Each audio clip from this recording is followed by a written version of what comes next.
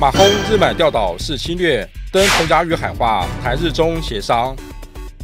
我们对这些不管是国有化或私有化的交易啊，我们一看不予承认，基本上是一个侵略的行为，是一个怯战的行为。我们希望日本能够承认有这个争议的存在，大家非常诚恳的来想法子解决这个争议。如果他们坚持不愿意承认有争议的存在，那我们当然也没有别的途径。我们该维护的权益，我们绝对一寸都不让。马英九总统昨天首度登上彭佳屿，宣誓捍卫钓鱼台主权。他强调，彭佳屿与钓鱼台都是台湾北部山脉入海后形成的火山岛，地质上一脉相承，我方拥有钓鱼台主权，毫无疑问。马英九继日前抛出东海和平倡议后，昨再提出台日中一组三边协商，共同解决钓鱼台争议。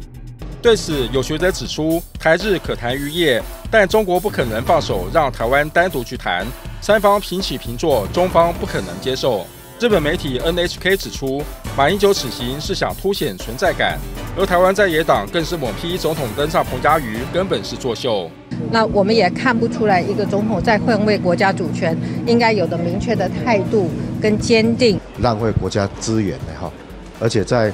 这个实地方式上都不一样。如果到彭佳屿去宣示主权的话，是不是间接的表示钓鱼台不是中华民国？这叫做划地自限。